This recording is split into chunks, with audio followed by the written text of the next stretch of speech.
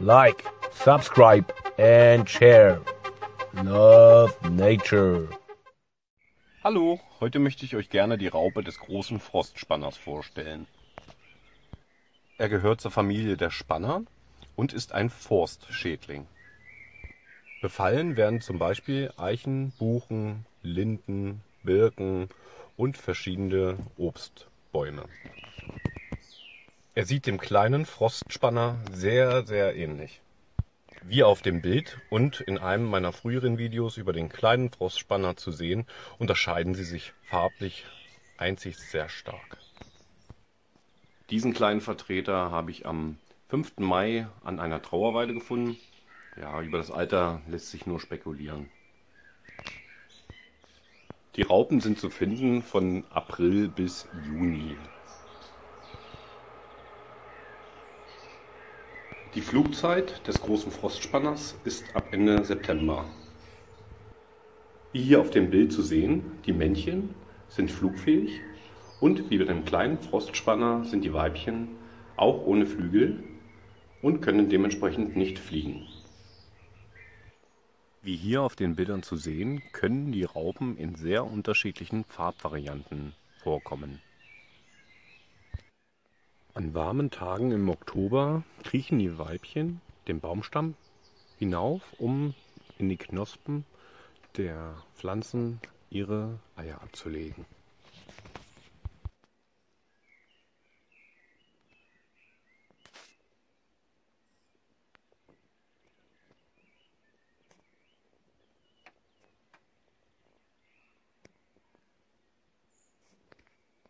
Wir haben heute den 12. Mai und ähm, der große Frostspanner ist jetzt circa ja, genau sieben Tage bei mir. Und äh, ja, jetzt kann man schon beobachten, dass die Bewegungen sehr, sehr schwerfällig sind, dass er seine Beinpaare nicht mehr komplett vernünftig benutzt. Man könnte sagen, er sieht recht benommen aus. Hm, das ist ein Zeichen dafür, dass er äh, sich bereit macht, äh, in der Metamorphose den nächsten Schritt zu gehen, und zwar, dass er sich verpuppt. Und ich denke mal, es wird nicht mehr lange dauern, vielleicht ein wenige Tage, und äh, wir werden euch die Puppe hier präsentieren können. Ähm, ja, genau zu sehen, immer schwerfälliger, also als wenn er sich überhaupt nicht mehr unter Kontrolle hat. Also diese raubenden Bewegungen wie am Anfang des Videos, äh, die kriegt er gar nicht mehr hin.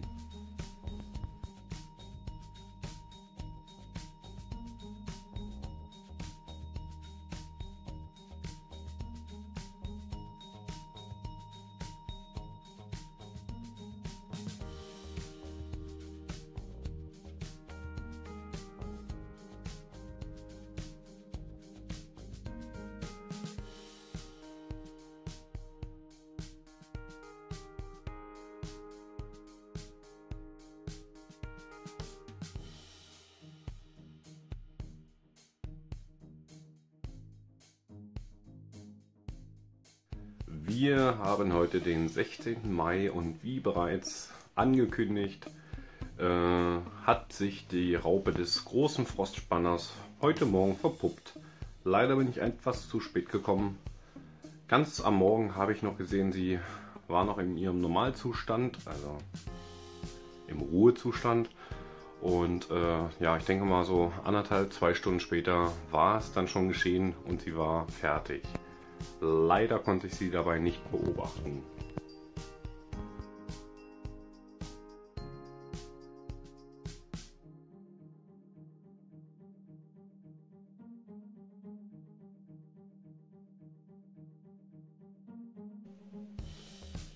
So, wir haben es jetzt 16.30 Uhr und es sind jetzt ein paar Stunden vergangen. Hm, wie man sehen kann, hat die Puppe diese typische Puppenfarbe angenommen. Äh, von der Größe her, na, ich würde mal sagen so 1,3, 1,4 Zentimeter. Warte mal, Stückchen. Hoppala. So, ist sie groß. Ja.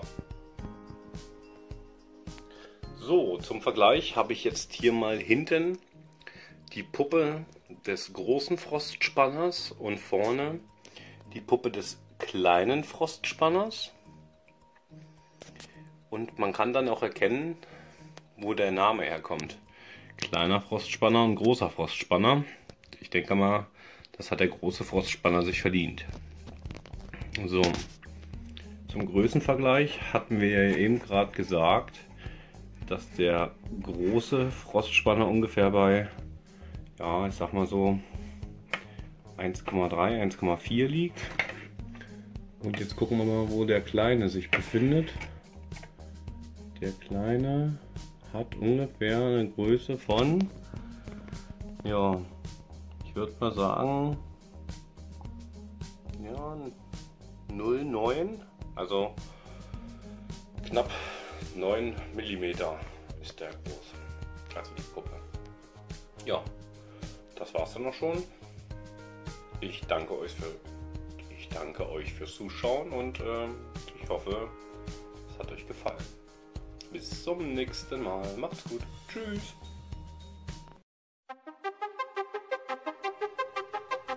Like, subscribe, and share. Love nature.